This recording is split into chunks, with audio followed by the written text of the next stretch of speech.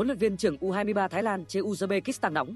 Theo tờ Siam Sport, huấn luyện viên Waragus Rimaka cho biết U23 Thái Lan hôm qua nếu có đội hình mạnh nhất thì đã có thể có kết quả tốt trước U23 Hàn Quốc. Ngoài ra ông cũng đề cập đến vấn đề thời tiết của nước chủ nhà.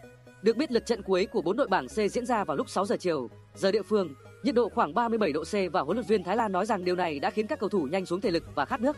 Tuy nhiên nếu phân tích rõ hơn, đội gặp bất lợi nhất ở bảng C chính là Hàn Quốc bởi họ đã quen với tiết trời lạnh giá và mùa đông đi xúc tuyết, cho nên nếu sắp nhiệt thì các Oppa mới phải là người ngất đầu tiên. Được biết 9 giờ sáng, nhiệt độ ở Bangkok là 32 độ C. Dự báo đến trưa nhiệt độ sẽ trong ngưỡng 34 đến 35 độ C. Chênh hẳn 3 độ thảo nào không quen. Nhận định của huấn luyện viên U23 Thái Lan càng thể hiện rõ ràng về sự tiến bộ về thể lực của lứa U23 Việt Nam. Có lẽ các cầu thủ trẻ của chúng ta từ nhỏ đã được tu luyện ở những cung đường khắc nghiệt nhất mùa hè Đông Nam Á như Ngã Tư Sở, Láng, Nguyễn Xiển, nên cái tầm nóng như Uzbekistan chưa đủ tuổi